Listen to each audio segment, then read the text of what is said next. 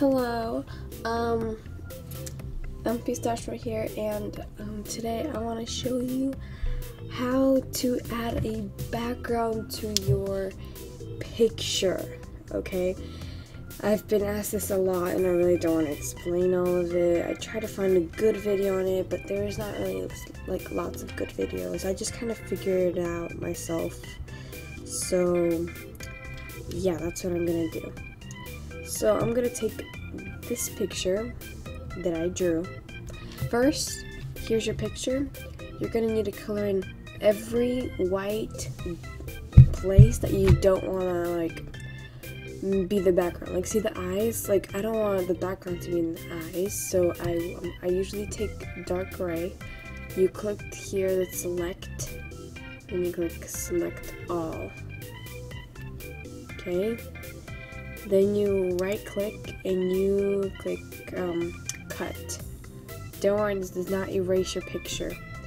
Then you draw the background or you paste the background. Pasting the background, you can get a like a background from the internet. Then you click paste from.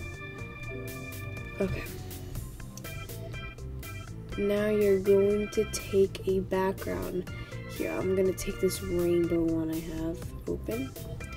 It's kind of huge and I can like move the background around. I am going to click paste, this little clipboard. Not the arrow thing, but this thing.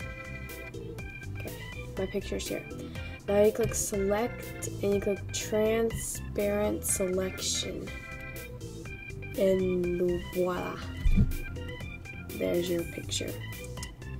Then you take the bucket and the white and you color in the white of the eyeballs or whatever your thing is white. So, and so practically here is your picture, and um, it's kind of what it's gonna look like. It's pretty, and then you can add a text, do whatever, and stuff. So yeah, that's pretty much how you add a background to the picture. So, yep. And um, thanks for watching. I hope you liked this video. And I hope it helped.